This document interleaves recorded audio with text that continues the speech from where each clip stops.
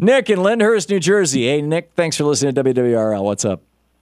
Hey, Thom. I just wanted to, uh, I've been on for a while, re- gather my wits here. Mm. The uh, fiscal cliff situation, I'm extremely disappointed, uh, disgusted is more like it, with, uh, with Obama's performance.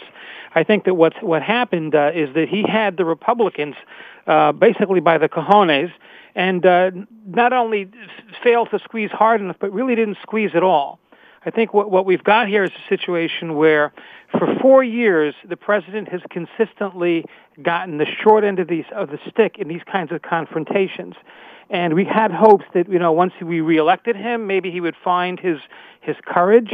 I'm, I don't think he's stupid or incompetent. He clearly understands all the ins and outs and all the negotiating tactics uh, and the extent to which he's dealing with recalcitrant, I would call them political economic terrorists at this point. Mm. I mean, when, when will we ever get a better uh, negotiating point than the Republican Party holding hostage 98% of the American people to give a tax break to 2%, and then we bump it up to 1% by making it up to 450, as if the middle class was between 250 and 450 per year. Right. It's insane what's ha- what happened yesterday. And for, for three hours now, I've been listening to you talk about it in a very rational, cool, calm, and collected way, uh, which you want to do. But if people well, it's understood, too late to do anything about it. But you're you're absolutely right in, in all the details of what you said, and and and in fact, I can make it even worse. I mean, you know, the the uh, the, the goodies that were given away are just you know incredible. Uh, I've got a list of them around here someplace.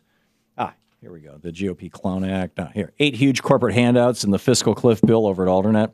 Uh, helping out NASCAR, 100 million or so for the railroads. Disney's got to eat. Help a brother mining company out. Subsidies for Goldman Sachs. You know, Goldman Sachs is going to get 1.6 billion dollars in free tax-free financing for the new massive headquarters in New York City uh, as part of this legislation. I mean, you know, but you're uh, you're absolutely right. The president. This was his point of maximum power over the Republicans. And thank you, Nick, for calling and making the point.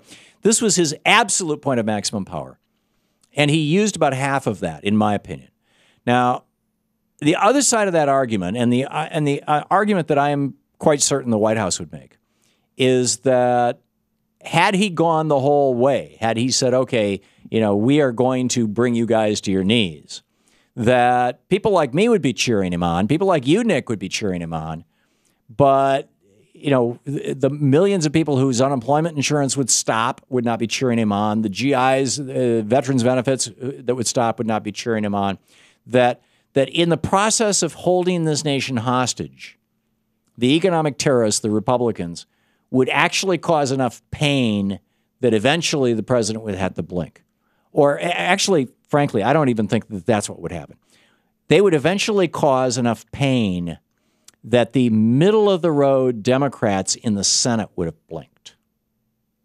And that's that is the situation that we're at. The, the, the president largely has to deal with the hand that he's got. And yes, it was a point of maximum advantage. And yes, he still has people like Max Baucus in the Senate. And he's still got some folks in the House who, you know, sometimes they'll go with the Republicans, sometimes they'll go with the Democrats. And, you know, it would have been nice to see the, the Republican Party self destruct. And it looks kind of like maybe that's what's happening. I haven't quite totally, I, I was going to say I haven't t- quite figured this out. I mean, I understand all the dimensions of what's going on here. And, and I can lay out for you all the details of it. And in fact, I've been doing so slowly over those over the last three hours. All that said, the people on the far right, and I'm going to be debating this tonight with a couple of conservatives on our on our TV show on the Big Picture. Uh, the people on the far right are they're feeling like they got screwed. Right? There was no there were no spending cuts, and the people on the far left, what we used to call the center of America, people who think we should have strong Social Security and uh, you know rich people should pay you know reasonable taxes, and maybe having more billionaires isn't a good idea, and and uh, people in favor of card check and unionization and whatnot. Those of us on the left feel like, oh, you know, we, we didn't get the best deal.